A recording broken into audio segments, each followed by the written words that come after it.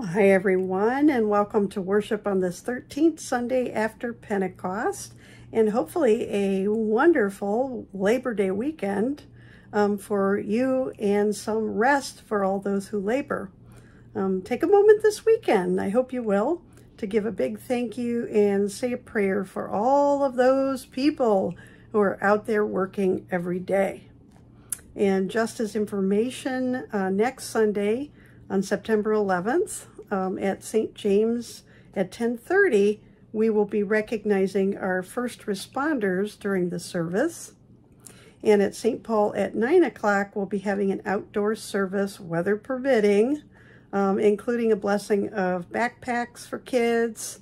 And uh, later that night, we'll be kicking off another year of confirmation and that starts at 6 o'clock in the evening, and that's going to be an orientation for both parents and their students. Um, you are welcome to help spread the word of each of those events at uh, each of our churches. So that is next Sunday. Well, I really do wish you a week that is filled with love and healing and hope, all found through our Lord Jesus Christ.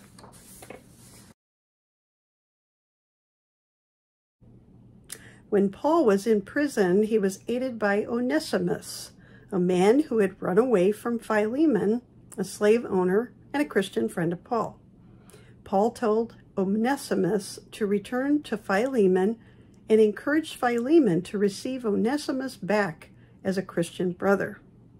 The sermon text for today is from the second reading, and that is from the book of Philemon, verses 1 to 21.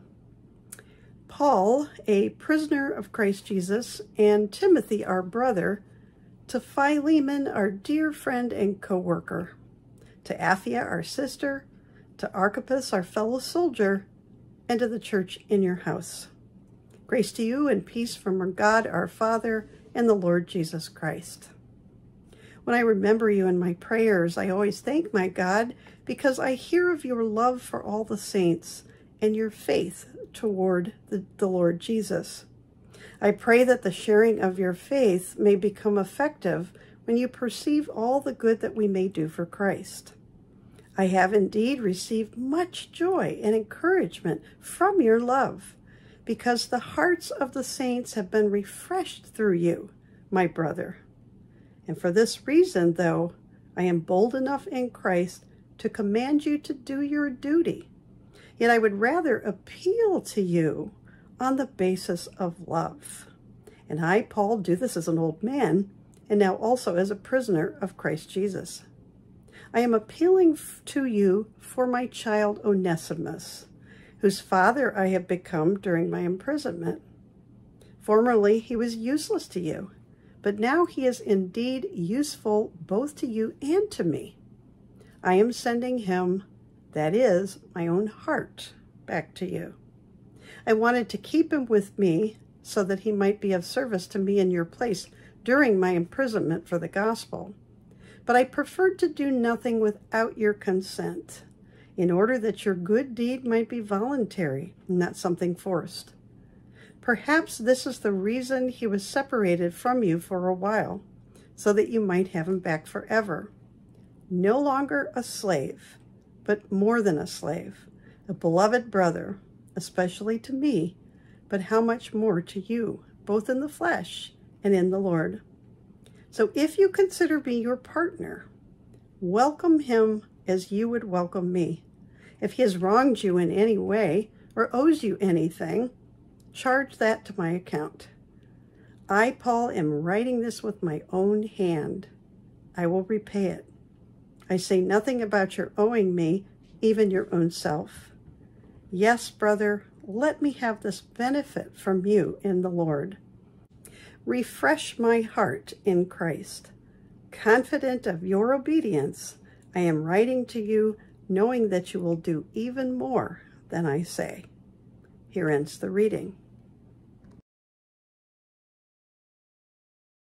Grace to you and peace from our Lord and Savior Jesus Christ. Amen.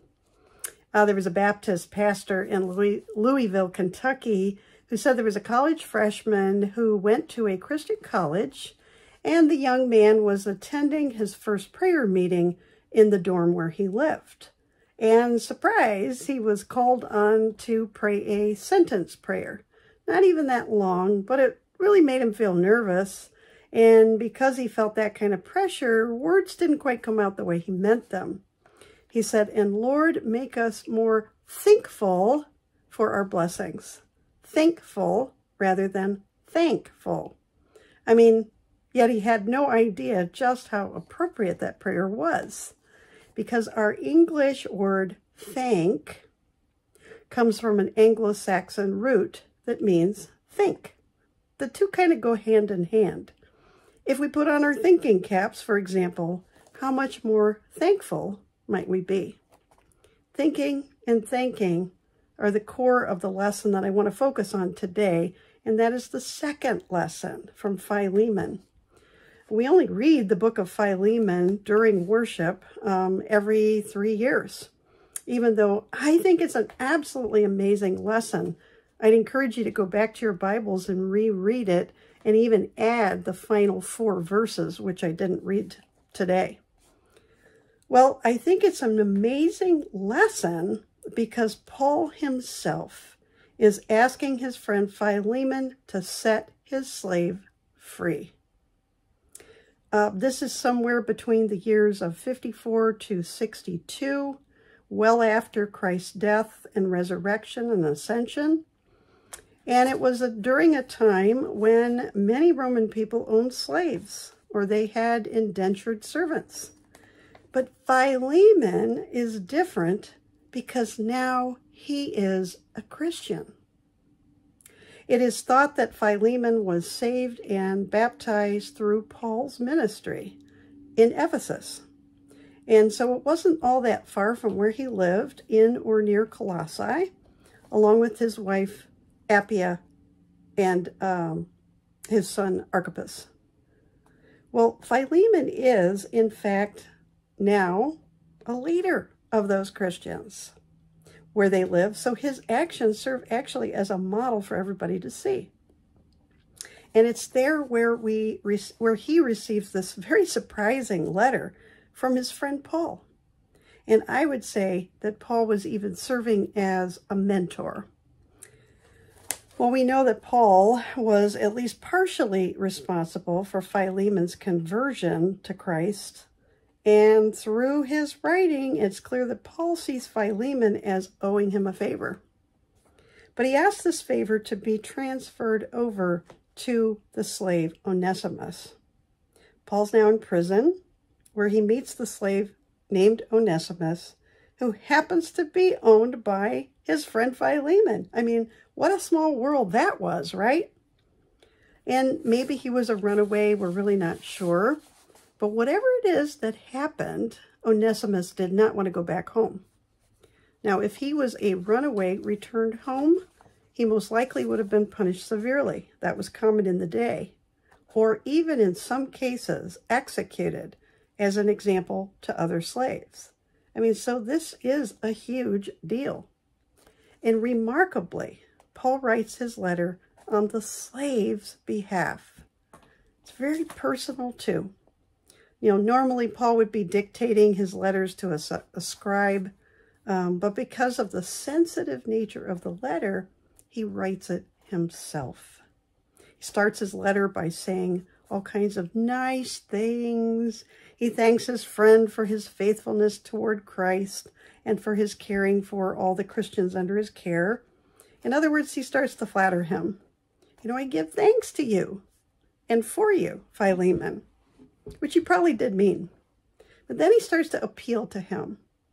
And he um, appeals to him to welcome back his slave, even though he's a runaway, and to do so with open arms. He says, in effect, now, now just think about this for a second.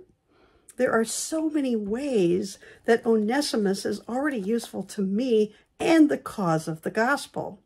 And by the way, he's like a son to me if your friend, if your leader, your mentor wrote that, wouldn't it get right to your heart? And Paul is, during this letter, I think, so unusually diplomatic. I mean, he's not really, he uses the word command there, but he's not actually commanding Philemon to do what he says. Instead, he's really persuading him. And he starts to do that by appealing to him and giving him a long reason, a long list of reasons for why it's such a beneficial thing to do. What's he going to get out of it? And the fact that it is the Christian thing to do. It's so unique among all of his other letters. I mean, Paul even offers to foot the bill for any outstanding bills or, or loss of the benefits um, relating to Onesimus. I want you to welcome Onesimus back in the way that fits the gospel. That's why we're doing it this way here. Think of him as a brother. I mean, think about the radical level of these words from Paul. Think about him as a brother, as I am your brother, equal in the eyes of Christ, no longer owned by anyone but Christ, just as I, Paul, am a prisoner of Christ, owned only by Jesus himself. Now, I don't know if it took courage for Paul to write a letter like this. If you read uh, his other letters, um, he certainly had no problem at all giving instructions, commands, making demands on any other Christians in the churches he found he founded. Um, he's usually really blunt. But here, I think he took great care, special care, and did that in order to convince Philemon that this is the kind of action that a Christian should take. He's putting great thinking behind the thinking that he offers in this level letter. We should be willing always to forgive others, if only because Christ forgave us. Think about that. We should be willing to forgive others, if only because Christ forgave us. That alone should be enough of a reason for Philemon to forgive Onesimus for whatever he had done. You know, we have a lot of opportunities every day and every week to forgive others, to resolve our issues, to thank others, and also to think about how we can put our Christian faith into action. Through every letter or card that we write, every tweet that we send, every text, email, or phone call that we make. We're actually in a similar circumstance to Philemon in that he was in a position to show others what it means to be a Christian. And so we are at work, we show how we are a Christian within our families, among friends, and we do that for sure whenever we run into anybody outside of the church. Especially then do we become models of being followers of Christ. There was a pastor who had an interesting experience when he grew up. And he said, you know, I remember when I was a child, um, there were these two older ladies, and they were members of the church that I attended, and they absolutely despised each other. For what reason, I never knew. And I suspect that a reason, whatever it was, they had even long forgotten. And yet each one attended every worship service of the church. They'd sit on opposite sides of the sanctuary, never speaking, never ever acknowledging each other's existence, even at fellowship times. And I can remember even now at prayer meetings how absolutely absurd it seemed like to me, a 10-year-old boy, to hear those two ladies singing loudly, Oh, how I love Jesus.